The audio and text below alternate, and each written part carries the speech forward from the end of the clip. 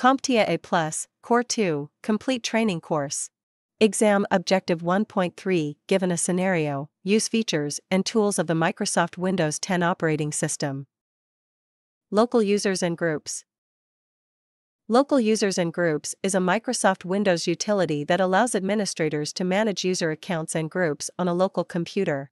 This tool is essential for maintaining security and organization within a system, enabling the control of user permissions and access levels.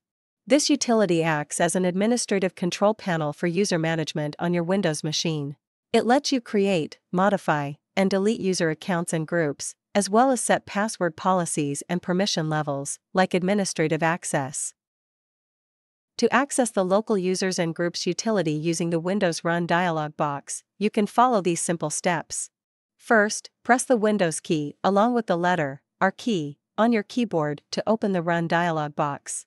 Next, type lusrmgr.msc into the Run dialog box and click OK.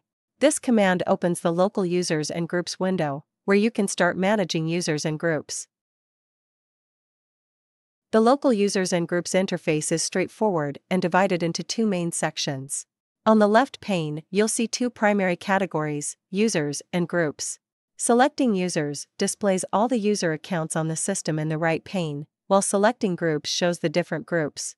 Each user or group can be right clicked to access properties and settings, such as adding users to groups, setting passwords, or defining account policies. This layout makes it easy to navigate and manage accounts effectively. In Windows, the Local Users and Groups utility is a vital tool for managing system security and user access.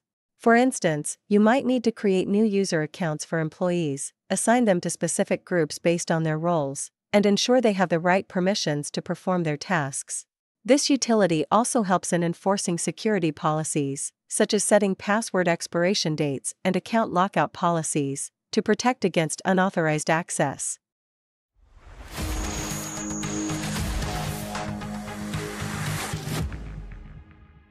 Thank you for watching. Subscribe for more great content.